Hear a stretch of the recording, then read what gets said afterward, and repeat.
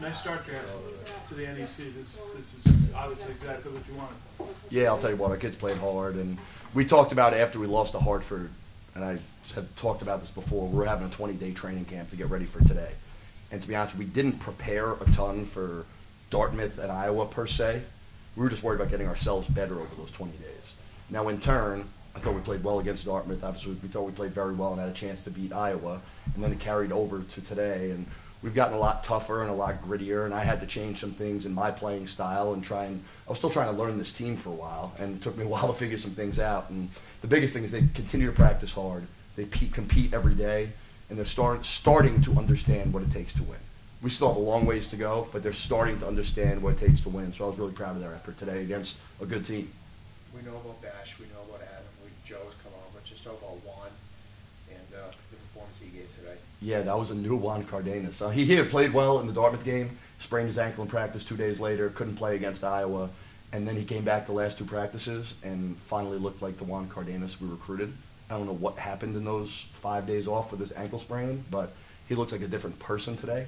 Um, Is and he that he gives you offensively kind of gravy? Because he looks like he's more of a defensive energy guy for you guys. he is right now. He does have some offensive ability, which you started seeing today. Some of the things he's done the last two games are things that I thought he had the ability to do. And I said from jump to my staff, we're not going to know how good he is until January. There's a curve with junior college kids to begin with when they go to Division One level, and Juan didn't play last year, so he didn't play organized basketball for a year. The second half of the year, he wasn't even practicing. He was back home in South America because he had graduated from junior college. So he didn't play organized basketball for a long stretch of time. He got here in the fall with a sprained ankle, so he was behind the eight ball to begin with. And I always think with junior college transfers, the second half of the year you start to learn what they are, and then in year two they really become the player they can be. So I, I love the strides that he's making. Um, any update on He will go to the doctor on Monday. I mean, we're hopeful he'll be get cleared next week. I'm not 100% sure. I know he's feeling better. I know rehab's going well, um, and he'll see the doctor for the first time since the surgery. He's seen the PA. He'll see the doctor for the first time on Monday, and we're pushing. We're getting close to that six-week mark, which was kind of the ballpark of what they were talking about. So we'll have a better idea on Monday. But he's getting healthier and is progressing well. It, I noticed it in the Iowa game, and, and more so tonight. It looks like you found a way of playing without him, which is running down the clock a little bit and executing a little later. Uh, when did you decide that, that that was something that you wanted to try to do?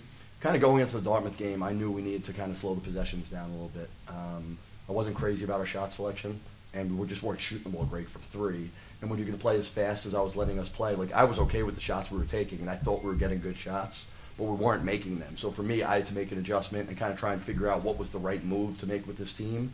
And I thought we were pretty good in ball screen actions, and obviously Sebastian Towns is a tough matchup. So I tried to clean a couple things up, put some new actions in to kind of play through those guys, and I think it's been effective and something. It's still a work in progress, so I think it's something we have a chance to continue to improve on. Does that last five minutes of the first half, Jared, reinforce how just important Bash Townsend is? Because your offense was clicking. He says you scored like eight points in the final five minutes in the first half. Yeah, I mean he's on both ends of the floor. He gives us so much. Obviously, you see it offensively. Defensively, he's our smartest guy. He's our best communicator. He's our best ball screen defender. So he goes to the bench, and Pat Harding's a tough kid who plays very hard, but Bash is a veteran, and Bash is kind of leads our defense because he's so vocal and so smart and knows every position on the floor. So when you lose him, not only do you lose a guy who's an impact player, scorer, but you lose your smartest guy. So it's almost like for teams, sometimes when their point guard comes out of the game, that happens. For us, when Bash comes out of the game, that happens because I, I lean on him a lot on the defensive end with our communication, and I think our guys lean on him too because he's vocal, he talks them through stuff, and he has become the leader of this team. Another hero tonight, uh, Byron Hawkins. Yeah, Byron, Byron's a good player. He went through a little rut where he was struggling, and I knew that he was going to start playing better. He, he's a good player, and everyone goes through it at different times. He came back from Christmas with a great mentality and a great mindset, and has practiced really well. He's had the best stretch of practice that he's probably had all year. Um, and this week he was really good. I said to our guys before the game, I said Byron's going to be good today, and he's going to have a good year for us. He went through some struggles, like a fifth-year transfer, coming into a new team, new style, third head coach. That stuff happens. So it takes a while sometimes for guys to feel out their role, and I think it's happened with a few of our guys that there's more of a comfort level of here's where I fit, here's my spots, here's where I can make a play, here's where I need to reverse the ball. They're, they're starting to learn those things. To shoot what you guys did at the line tonight, what does that say about your collective focus?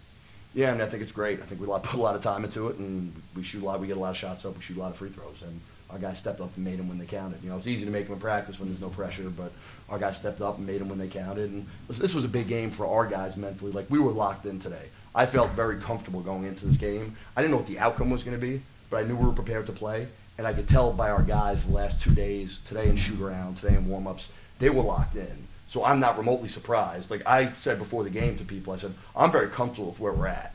Was the ball going to go in? I don't know. But our guys are ready to play. And they showed that they were. And this is a big step for them. They won three games last year.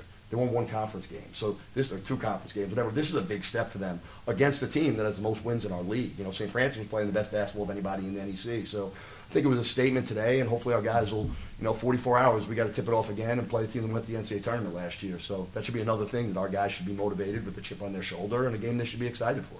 How much you kind of stress defending the home court too? Yeah, I mean, I, anywhere I've been, uh, that's the biggest thing. You have to defend your home court and then find a way to get some wins on the road.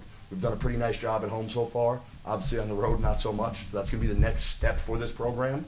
But we just played. We just played the team who, coming into this game, was the best team in the league per se, based on record. Tomorrow, uh, Saturday, we're playing a team who went to the NCAA tournament last year. So those are games you have to win at home. You have to protect your home court. I think our guys have a comfort level in this gym because let's face it, I have them in this gym a lot more than they've ever been in the gym in their life before. So there should be a comfort level. Like we felt in other programs I've been, we put so much work in. We're on the floor so much and put so much time in our gym that there, there should be a comfort level there. And I think our guys have that right now. Just talking about staying with it, you know, give St. Francis a lot of credit. They punched, you guys punched, and how you guys stayed tough to the end there. Mm, the thing that like make us stay was the defense. We play. I think we play a hard defense. We played really tough, but we got tough them, and I think that's what gave us the the key to the win.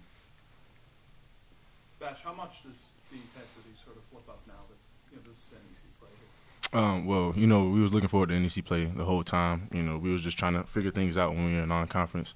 But um, now that it's here, man, I've, I've been very excited. You know, I've been uh, definitely stepping up to the leader, being a leader in the locker room, and uh, I just been getting my guys pumped all the way until this moment. You know, our training camp was over. You know, I had day 20 a couple days ago, and uh, it's here now. So everybody's excited, and we're, we're definitely gonna play hard. You had a good view. You had an offensive rebound off, off one of the few missed free throws you made, and it led to an Three. Just talk about the energy that he brings defensively, how it kind of feeds off everybody. Oh yeah, we definitely. It, it took Juan a little while to adjust, but um, you know, he's definitely making a lot of improvement. Definitely on the defensive end and the offensive offensive end. You guys haven't even seen what he can do, man. He he does a lot in practice. So once he gets the defensive down, he's definitely going to open up his offensive tendencies, and um, just there's no there's no ceiling for him, man. He's definitely going to show you guys more and uh, what he's capable of doing. Juan, Coach talked about making some changes throughout the non-conference, changing the way he wanted you guys to play, changing the way that he coached. Um, what were maybe a, a couple of the most important things that he might have done that have helped you guys to this point? I would say that like one things that he done was like keep me uncomfortable. Like he never like let me like go away. Like if I do something wrong, he always gonna tell me, and I think that's the, the most important because he always had my back. Bash, what was the 20 day training camp like? it was tough. It was definitely tough. Um, since, to be honest, since Grasso has been here, it's been a training camp. It's definitely been like boot camp style. But um, you know, we definitely needed it. It made us a better team. Obviously, uh, during the process of the training camp, we had a lot of time off in between games, so uh, it it was tough. But uh, it made uh, it made us tougher as a team. And, you know, we're gonna out we're gonna out tough everybody in NEC. That's the that's the point that uh, Grasso was trying to make. So uh, it, it worked. It worked. And I'm not even gonna knock him. It, it definitely worked for us. Bash, you guys have hit a little, some checkpoints along the way. You know, you had three wins before NEC play. Tonight, you equal your win total from the year ago in conference play. As exciting and maybe the progress has been taken, how much you kind of stay grounded and not getting too high, even though this is kind of a new feeling. You know, consistency and winning and success. um, we're just always going. We, the nothing's going to change what we do in practice. So you know, coach is definitely not. We, tomorrow we're going to forget about this game. We're going to be worried about the next game. I don't even know who we play next, but uh, it's just going. We're just going to take one game at a time, one possession at a time, and just figure it out from there. Um, I don't think we're going to get big headed. Um, I think everybody on this team is very humble, and uh, we're just going to take one game at a time, man. And this sky's the limit for us, and um, we're definitely to shock a lot of people. If they're asleep, we're to wake them up.